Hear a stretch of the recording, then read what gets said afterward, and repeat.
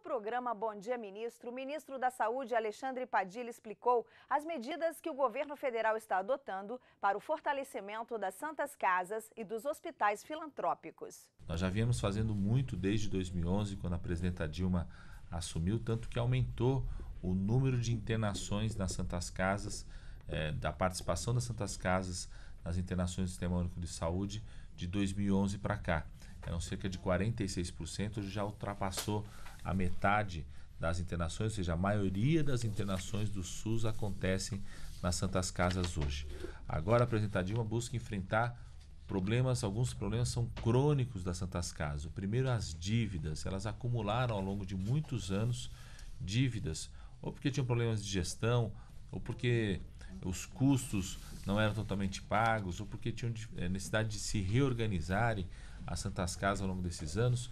E a presidenta Dilma, é, com um projeto que meu Congresso, que já foi aprovado, ela prepara a sanção desse projeto, vai permitir uma troca dessa dívida por atender mais a população. A Santa Casa que quiser aumentar o número de cirurgias para reduzir fila de cirurgia, reduzir filas de exames que existe para a população, vai ter esse benefício do governo federal que é ter uma moratória da sua dívida. O segundo é ajudar com mais recursos as Santas Casas.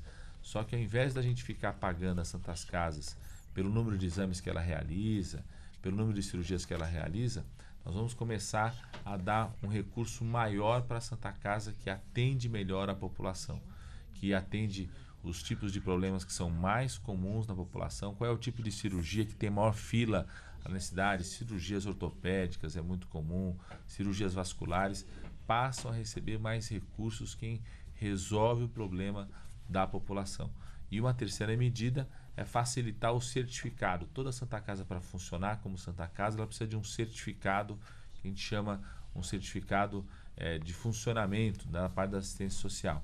É, às vezes a Santa Casa tem muita dificuldade para renovar esse certificado. Então o Congresso Nacional aprovou um projeto que a presidenta Dilma encaminhou que faz várias mudanças nesse certificado, facilitando a emissão desse certificado de Santas Casas. Ou seja, nós queremos fortalecer a parceria com as Santas Casas de todo o nosso país.